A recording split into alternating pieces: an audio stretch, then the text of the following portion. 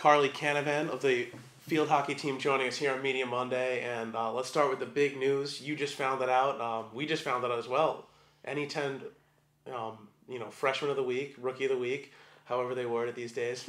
uh, so can you just talk about what that means to you? Because this is probably something you're just figuring out as well. Um, it's definitely a great accomplishment. Um, you know, I've, I've worked hard these last couple weeks. We had a great game against Stonehill, so I think that definitely contributed to that. I mean, I play with a great team, so I mean, it's not just me; it's the whole team. And um, you know, a, a great win against Stonehill, a top five team in the country.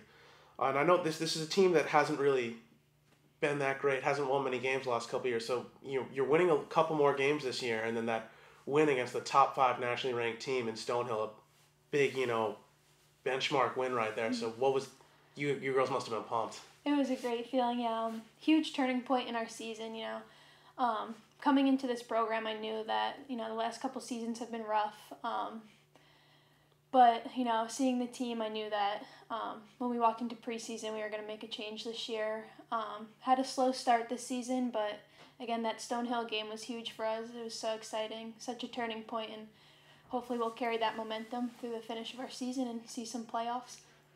And in comeback fashion, you were you got down two nothing to Stonehill. So, um, you know, why was the, the you know the team's attitude? It, it could be easy against a team that is you know one of the best teams in the country, and you get down. It could be easy to just roll over and say they're better than us. But Right. you know, if mounting a, that furious th- uh, three goal comeback. So, you know, what was it like to see the team all rally together and have that happen? Right. Um, so we had a timeout, um, and then it just kind of fired us up. Our captains got us going, seniors got us going, and from there we just walked out onto the field, knew we could do it, and just put the ball in the back of the net and came out with that victory. And uh, you came forth with a hat trick. Um, is there one goal? I mean, which which goal is the biggest? Because you got that that first goal, the second goal ties, and the third goal wins it. So all very big, you can argue. But it, does one stick out for you? Um, definitely the last goal. Um, it was a one v one with the goalie.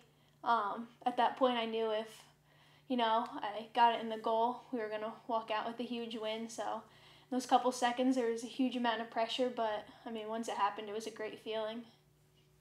And uh, can you talk what goes through your head with those with those one v ones? Is it uh, just because really has to uh, you know as you said a lot of pressure knowing that you could win the game right there. Right. Um. So I mean, I got the ball, and I was thinking, you know, like, oh my God, like I can't mess this up. Like super nervous, but you know, I just have to remember the basics. I pulled a little bit to the right, and then just lifted it over the goalie, and it rolled right in.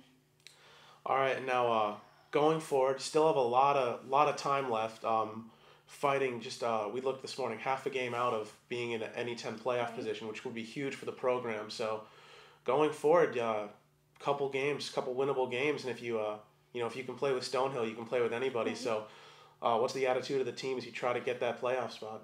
Um, I think we're just gonna take one game at a time. Wednesday we have Bentley. They're a very strong team, so we're gonna walk in Wednesday with the same momentum that we left with at Stonehill, and hopefully come out with another win and just take it game by game. And I think we'll see playoffs. Uh, and you know, there's a lot on a freshman's plate, especially when they play a fall sport, because you know you're coming in college is new, and there's classes, and then there's um, sports right away as well, and you know having to make all those adjustments fast. Can you just talk about what that was like for you? Um, well, we came in preseason, you know, double sessions, the lift, um, all the team stuff, and that was already busy. And then you throw in classes on top of that first week of September. And the first month it was crazy, you know, very stressful, but I feel like I'm in a good uh, rhythm now and balancing everything very well. So now it's pretty good. All right, we've asked everybody this on Media Monday today, and you know ever since this uh, it's been a thing. Uh, can you just share something a little obnoxious, maybe off the wall about yourself, something that not many people are going to know about you? Um, I am the baby of a huge family. I'm actually the youngest child of eight. Youngest of eight. Wow. So youngest of eight, big family. Mm-hmm. Uh, this is your Northeast Ten Field Hockey Rookie of the Week. Carly, thank you for joining us here on Thank Media you. Monday.